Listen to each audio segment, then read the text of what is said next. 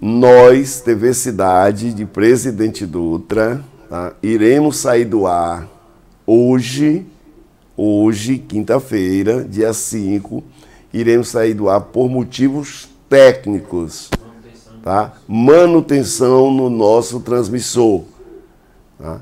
E aí o mesmo estará de volta na segunda-feira à noite ou terça-feira pela manhã.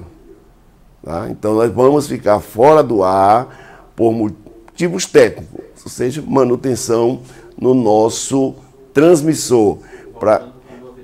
Quando a gente retornar na segunda-feira ou na terça-feira, teremos novidades, tá? teremos novidades com relação à qualidade da imagem e áudio que vai chegar até o seu, até o seu receptor tá? ou seja, até o seu televisor. Então, por esse motivo, somente por esse motivo, iremos sair do ar hoje, quinta-feira, tá? E aí, já querendo lembrar que a, nós temos aí programa eleitoral de amanhã, sexta-feira, e o de sábado, que não irá para o ar. E provavelmente o de segunda-feira. Tá? Voltando na terça-feira, programação normal. Tá?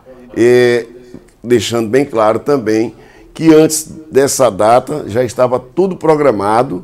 Tá? Eu vou viajar, é, vou levando tá, o nosso transmissor para que o mesmo seja feita essa manutenção e na volta a gente volta então com o nosso transmissor com qualidade de áudio e som diferenciado.